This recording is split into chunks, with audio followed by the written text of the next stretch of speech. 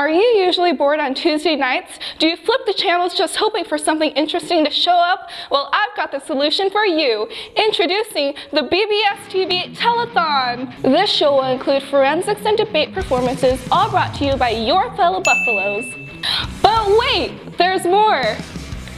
Tweet at GCHS underscore BBS using the hashtag Telethon22 to be featured on the show.